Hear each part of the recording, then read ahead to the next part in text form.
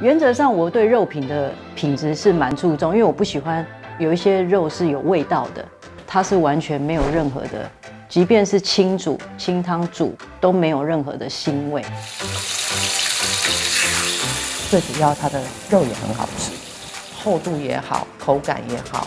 它不柴，因为我们外面一般吃的里脊猪排它会柴，但是它完全不柴，然后料理起来也很方便。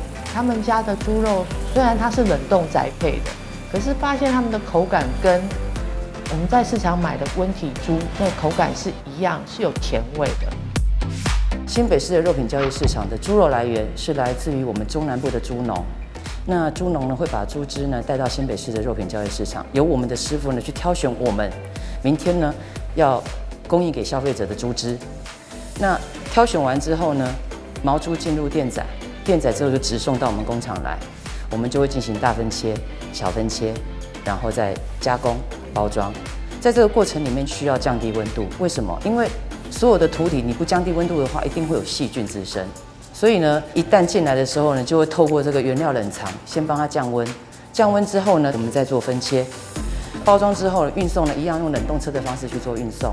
如果时间要拉长一点的话呢，我们就进入急急速冷冻柜，在四十分钟之内呢，把中心温度降到零下四十度，有效杀死这些生肉里面的细菌。全厂区使用级的清洁措施，每一季的 SGS 检验，让平日忙于工作、无暇购物的民众。利用网络就能买到新鲜干净的温体猪。它的梅花其实分布的油花是蛮漂亮的，而且吃起来蛮香的。其实香肠我不太吃的，我只吃他们家的香肠。因为现在我们也没办法出门，或者是说出门去传统市场也很脏，那我们就会选择在网络上面购买，所以它对我来讲是很方便的。与家人坐下来吃一顿温暖安心的饭。